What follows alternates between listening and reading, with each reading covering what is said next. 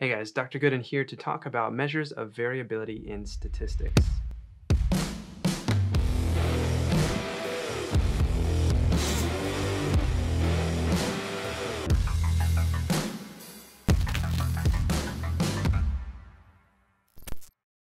Professor Jacob Goodin here from Point Loma Nazarene University, and in this video we are going to talk about how to describe your dataset using measures of variability. Much like the last video where we looked at measures of central tendency, these measures of variability will help to describe the shape of the curve of your data. How is it distributed? Is it tight or is it spread out? Let's take a look. Okay, this information can be found in the textbook Statistics of Kinesiology by Weir and Vincent. Now some key terms to go over first.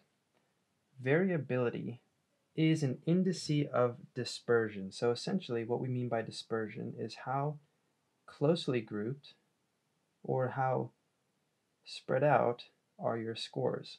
The wider that curve, the more spread out they are, and the larger that variability indice will be. The tighter the curve, the more narrow it is, the closer together your scores are spread. They're, they're not spread out very far at all. And so the smaller that indice of variability will be, depending on which indice we end up using. So it really describes how the scores are scattered in that distribution. Now we've already talked about range. Range is the largest score minus the smallest score. But we know that range is easily affected by outliers. If you have just one really small score or just one really large score that are outliers from the rest of the dataset, it can really skew your range. And thus, the range won't be very descriptive of your dataset as a whole. We also have what's called the interquartile range. Now, the interquartile range, or the IQR, is the difference between the raw scores at the 75th and the 25th percentiles. So really we're just taking those middle two quartiles, the from the 75th down to the 25th percentiles, and what that does is that cuts off any outliers that we might have in the data, and it can also account for skewness of the data. If the, if the data is skewed positively or negatively, then taking that interquartile range will help to control for that and can be more descriptive of your data set. Now we also have what's called variance. Variance is the sum of squared deviation scores about the mean divided by the number of scores minus 1. So we'll parse out what that means here in a second. But to move on, the standard deviation is the square root of variance. So basically you do the same calculation you did for variance and then you take the square root of it. And this is the most frequently used indice of variability. It should be used to summarize variability in a data set, and it's the easiest measure of variability to interpret. Okay, so let's take a look at how to calculate variance as well as standard deviation. So first to find variance, we have to calculate what are called deviation scores. And these are just the differences between each raw score and the mean. So if we take the sum of all deviations, this would be equal to zero because the mean is in the middle of the data. So every score on this side will have an analogous score on this side that will eventually average out if we add up all of those deviations to get zero. If you don't get zero when you add up the deviations, it means you, you selected the wrong mean. It means you didn't calculate it correctly. So we have to square them so that A, it gets rid of the sign, and B, we can add them all together and then we get an actual value instead of just zero for our deviation. So to find variance, we will first square the deviation values, we'll add up the squared values, and then divide that by the number of scores. Variance is kind of like the average of the sums of squared deviation scores. Now, if we're calculating the variance of an entire population, we've measured every score in a population, there's nobody else we could measure in that population, then we would divide it by the total number of scores, or by n. But if we just have a smaller sample of that, of that larger population, let's say the population of Americans is somewhere around, I don't know, 300 million maybe, give or take, and we can only measure 10,000 of them. That's still a lot, but it's a very small subset of that much larger population. Then we would use n minus 1. n minus 1 is a way to acknowledge that the standard deviation of that sample is slightly different than the standard deviation of the population. By subtracting that 1, we are removing one degree of freedom from our standard deviation. Okay, so here's a table looking at deviations from the mean. So we have two different sets of data. We have scores denoted by x and then by y, and they are two different data sets. And you'll see just by looking at them, we go 27, 26, 25, 24, 23 for the x values, and you can see that 25 is right in the middle, so that's probably going to be the mean. And same thing with the y values, but notice how much farther they are spread apart. Okay, so 25 is the mean in both cases. However, the y values have much greater spread, so we would we would imagine logically that once we calculate the deviations as well as the variance and standard deviation for these two different data sets, each having five values, that the y values will have much greater variability. So if we were just to take the deviation scores, we see that 27 has a deviation score of 2, 26 has a deviation score of 1, 25 has a deviation score of 0 because of course 25 is also the mean here. 24 has a deviation score of negative 1 because it's below the mean, and 23 has a deviation score of negative 2 because it's below the mean. And the sum of all those is 0. Looking over at the y column, we have the same thing, but notice the deviation scores are much larger. 10, 5, 0, negative 5, negative 10, but again they add up to 0. If we were to take the absolute value of these, then we would get 6 for the x values and 30 for the y values. Now, when we're looking at this table, we notice that the mean for both of these is 25 centimeters. It's calculated right here. And so that just the mean alone is not very descriptive of this data set. The mean alone is not very descriptive. We do have the absolute values of deviations from the mean, but what we actually want to calculate is variance. So here's how we do that. Instead of taking the absolute values of the deviations, we take the square of the deviation. So here is a column showing the square of the deviations from x, and then the square of the deviations from y. And so now we see that when we sum those up, we get 10 and we get 250. And then to calculate variance, we will denote variance by the letter V here. We just divide that by the total number of scores. So we have the total number of scores being 5. So 10 divided by 5 is 2 centimeters, and 250 divided by 5 is 50 centimeters. So in this case, we see that the dataset of x scores has a variance of just 2, whereas the dataset of y values has a variance of 50. So there's a really big difference between the two. They have the same mean, which is 25, but the x values have a variance of 2 and the y values have a variance of 50. Now we didn't apply here the correction the n minus 1 correction for the degrees of freedom that we would apply to sample data because these are just numbers that aren't actually representing any actual measurement of a sample or a population. Okay, so we just keep it at n on the denominator.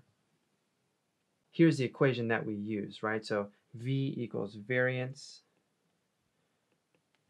and it is the sum of all um, scores minus the mean squared over the number of scores. Okay, that's an interpretation of this equation. Now, if we wanted to calculate the standard deviation, which when we're talking about the population, that's denoted by this Greek character sigma, we would simply take the square root of that. The square root of the sum of all scores minus the mean squared over the total number of scores. Now, as I said before, when calculating the variance of a sample, we have to subtract 1 from the denominator when calculating the standard deviation of a sample. So we apply this correction factor to make sure that our estimate is not biased by the small sample that we have. But you'll notice if you're using a very large data set, the standard deviation of the sample versus of the population will actually be very close. As soon as you get above n equals 50, those values start to get very close to each other. So going back to our original example of the x values and the y values, we've already determined that the y values have a much greater variance, but what is the exact standard deviation of each of these groups of numbers? So here we have the variance scores. Remember that was 2 and 50 for the x and the y values.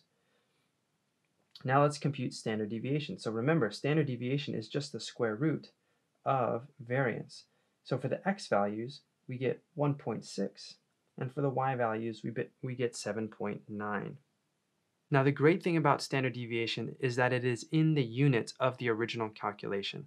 So what we'll often see in research or in statistics is that a researcher will report the mean, and then they will say plus or minus the standard deviation. And that standard deviation is in the units of that original measurement. So if it's reporting back squat 1RMs, they might have a group of 20 subjects, and maybe the mean is 140 kilograms. So they might write 140 plus or minus, and let's say the standard deviation was 10 kilograms. So plus or minus 10 kilograms. And that would represent the mean plus or minus the standard deviation. And that will describe for you the data set much better than just giving a measure of central tendency or just the measure of variance. But now we have both to describe this data set. Now the last measure of variability to look at is the coefficient of variation. Now the coefficient of variation is kind of like a standard score for variability. It describes the variability in terms of a percent. So this is particularly helpful if we want to do something like compare the variation between two different scores that use different units. So a 1RM back squat would use kilograms, whereas a vertical jump would use centimeters. Coefficient of variation allows us to normalize the standard deviation by dividing by the mean, and then we multiply it by 100.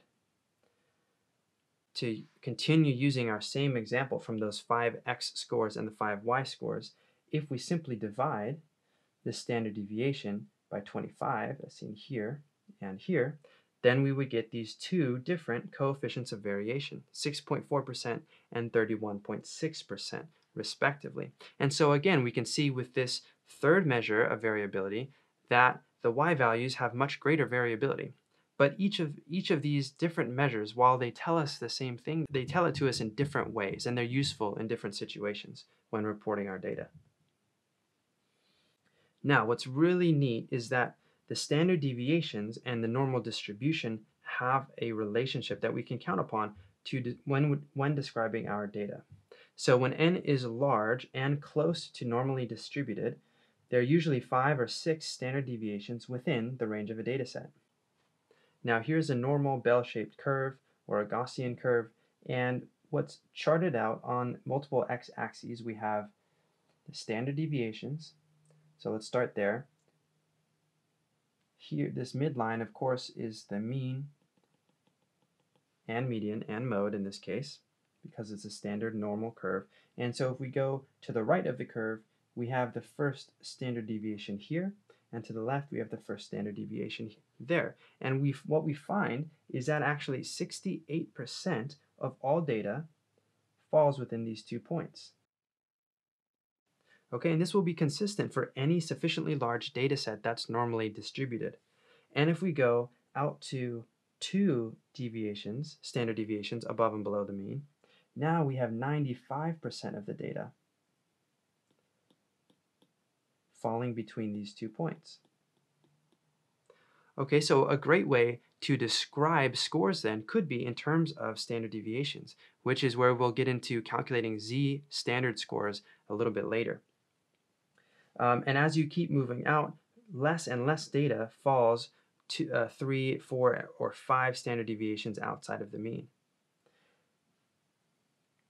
Now we can go further down and look at cumulative percentage, percentages or percentiles, and we can see that right here at zero, of course, we have 50% of data is, is falling below the mean. And if we keep going up in standard deviations, we have 84% of data falling below one standard deviation and 97.8 falling below two standard deviations, etc., etc. And then if we take a look at the percentiles, we see that most of them are actually clustered between 1 and negative 1 standard deviations. And then as you get outside of one standard deviation above and below the mean, those percentiles get more and more spread out, similar to what we've talked about previously, where if you are an elite athlete or somebody who's elite in whatever measurement you are you're considering, maybe it's SAT scores or maybe it's back squat 1RM or maybe it's IQ points, if you are at the very high or the very low ranges, then an improvement in your score will not result in a large jump in percentiles. And that's just because percentiles at that level are so spread out. Whereas if you're in the middle of the pack, the same, the same absolute size of improvement will lead to a bigger jump in percentiles. And that's just because they're more clustered. They're between one standard deviation above and below the mean. Okay guys, thanks for checking out measures of variability with me. If you had any questions, I'd love to connect with you in the comments section, so leave them for me down there. If you missed it, check out the video where I showed you how to calculate most of these measures in Excel and in SPSS. Okay guys, thanks for watching, and I'll see you on the next video. If you any questions though,